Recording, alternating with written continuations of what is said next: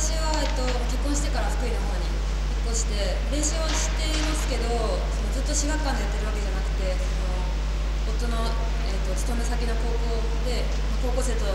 やらなやったりやらなかったりあとちびっ子の教室もあるのでそっちの方を見ながら一緒に動いてます。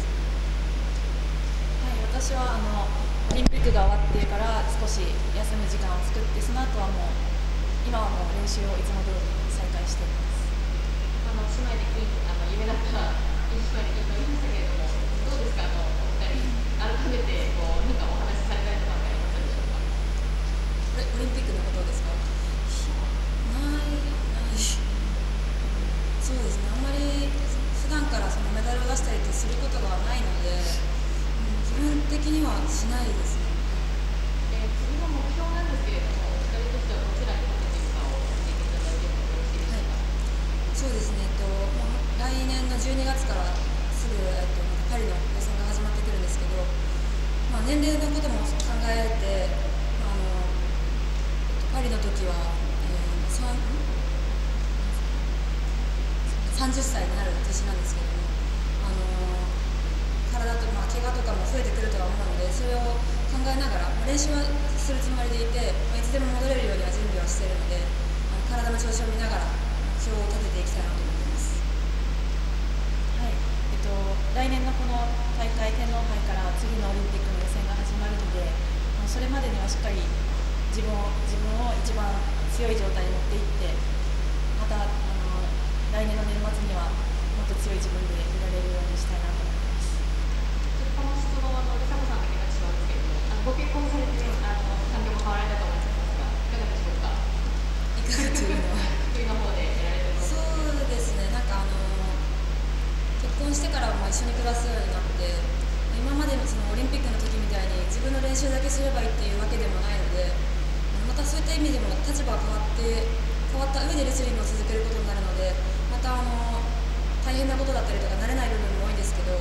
協力はすごいしてくれているのでうまく力を合わせながらやっていきたいなと思っています。でも拠点の方は県方にされるというあの練習いや愛知にも行ったりはする。まあ遠くはない距離なので愛知でも練習しますし福井でも練習したりたまに、まあ、出稽古で東京に行ったりもできたらいいなとは思ってます。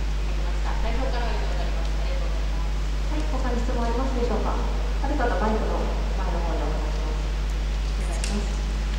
お願い。しますあの今年の自身の漢字ですね漢字を今年の漢字一文字をちょっと上げてもらって漢字一文字その理由をお願い。しますそうですね私は変化の変かなと、うん、あのやっぱりオリンピックで2連覇っていうことでやっぱり変わった、まあ、姉妹で金メダル取ったことでやっぱり周りから応援してくれる応援生があの祝福をしてくださることがやっぱり増えたのでそういった部分も変わりましたし、まあ、結婚して名字も変わりましたし住むところも変わって立場も変わってっていうふうに本当いろんな変化があった1年だったなと思います。